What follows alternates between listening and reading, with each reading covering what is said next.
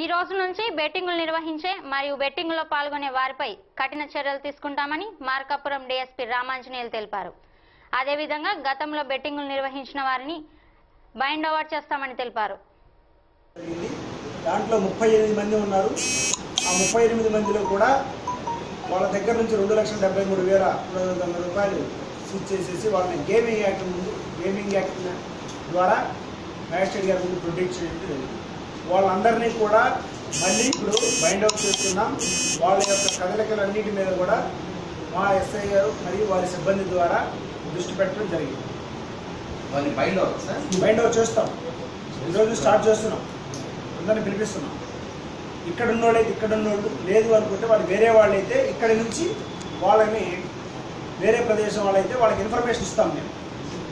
అదేవిధంగా ఈ రోజు నుంచి ఇందాక చెప్పుకున్న ప్లేస్లు అన్నింటినీ కూడా ఏ మనం ఒక పది రకాల బెట్టింగ్ తిరగడానికి గల ప్రాంతాలు గుర్తించాం కదా. వాళ్ళందరికీ నోటీసులు సర్వ్ చేస్తున్నాం ఇప్పుడు. ఎవరైతే వానర్స్ ఉంటారో ఉదాహరణకు టీ స్టాల్స్ ఉంటాయి. ఆ నలుగురు నిలబడేసి చేసుకోవచ్చు లాడ్జీలు ఉంటాయి. లాడ్జీల్లో వాళ్ళకి తెలియకపోవచ్చు. బట్ వాళ్ళు వాచ్ చేయాల్సిన బాధ్యత వాళ్ళ మీద ఉంటుంది వాళ్ళందరికీ కూడా నోటీసులు సర్వ్ చేస్తున్నాం ఈ రోజు నుంచి. పొరపాటున రైడ్ చేసినప్పుడు దొరికి నోటీస్ సర్వ్ చేసి జరుగుతుంటే వాళ్ళు కూడా ముద్దాయిలు అవుతారు. ఇది ముందుగానే మిత్రులు మీ ద్వారా మేము వాళ్ళకి తెలియపరచడం జరుగుతుంది. బెట్టింగ్ మీద చాలా కఠినంగా పోతాం కఠినమైన సెక్షన్లు పెడతాం. ఏపీ గేమింగ్ యాక్ట్తో పాటు ఇవన్నీ కూడా వాళ్ళ ఆర్గనైజ్గా చేయకపోతే ఆర్గనైజ్డ్ యాక్ట్ కింద కూడా పెట్టాల్సి ఉంటుంది. అదేవిధంగా చీటింగ్ రకరకాల మాటలు చెప్తున్నారు. ఒక రూపాయికి నాలుగు వందల రూపాయలు వస్తాయి ఒక రూపాయికి ఐదు వందల రూపాయలు వస్తాయి. రకరకాల మాయ మాటలు చెప్పి చీటింగ్ కూడా చేస్తూ ఉన్నారు.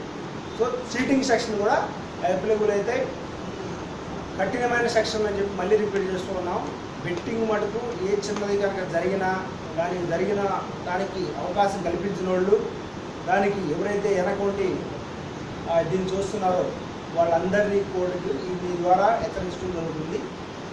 తర్వాత వచ్చేసి సెల్ ఫోన్ ఇప్పుడు మనోళ్ళు ఇంతకుముందు నలుగురు కూర్చొని కట్టుకోవడం అనేది చాలా తక్కువ ఉంది.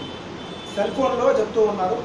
సర్ప్రైజ్ రైడ్లు ఉంటాయి. అనేక ప్రాంతాల్లో సర్ప్రైజ్ రైడ్లు చేపిస్తాం. ఎస్సీ ఇద్దరు ఎస్ఎల్ ద్వారా టీంలు ఏర్పరుస్తున్నారు. సిఐ మార్కాపూర్ భీమానాయక్ గారు ఇద్దరు ఎస్ఎల్ని పెట్టేసేసి టీంలు ఏర్పరుస్తున్నారు.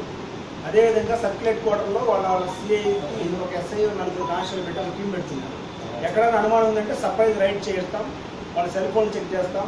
ఈ మెసేజ్ లాంటివి కనుక మనకి దొరికిన ఎడలా ఇంతకుముందు చెప్పుకున్న చీటింగ్ గేమింగ్ యాక్ట్తో పాటు మిగతా సెక్షన్లు ఏవైతే అప్లికబుల్ అయితే అవన్నీ కూడా పెట్టి కఠినంగా పరీక్షించడం జరుగుతుంది. ఒకటికి రెండు సార్లు దొరికితే రౌడీ షీట్లు సస్పెక్ట్ షీట్లు అన్ని ముందు సస్పెక్ట్ షీట్లు ఓపెన్ చేస్తాం. వాళ్ళ యాక్టివిటీస్ ఇంకా ఎక్కువగా ఉంటే రౌడీ షీట్లు కూడా కన్వర్ట్ అవుతాయి.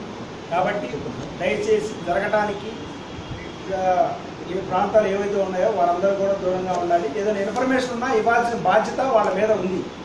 నేరం కాగ్నిజబుల్ అఫెన్స్ ఆడ కమిట్ అవుతుందని చెప్పేసి తెలిస్తే చట్ట ప్రకారం ప్రతి పౌరుడు చెప్పాల్సిన బాధ్యత ఉంది. మేము చుట్టుపక్కల చూస్తున్నాము వాళ్ళు ఆడుతున్నారు అంటే అవన్నీ కుదరవు.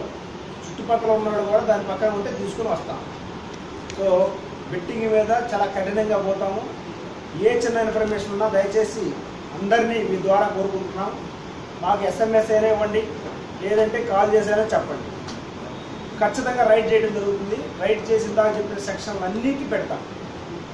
ఒకటి రెండు సార్లు జరిగితే సీట్ ఓపెన్ చేసి భవిష్యత్తులో ఎప్పుడు క్రికెట్ క్రికెట్ మ్యాచెస్ ఉంటే వాళ్ళందరూ తీసుకొచ్చి ఆ జరిగిన చేపు పోలీస్ స్టేషన్లో పెడతాం. కాబట్టి అందరికీ చెప్తున్నాం దాని జోరు పోవద్దు ఆటని ఆటలానే చూడండి ఎంజాయ్ చేయండి.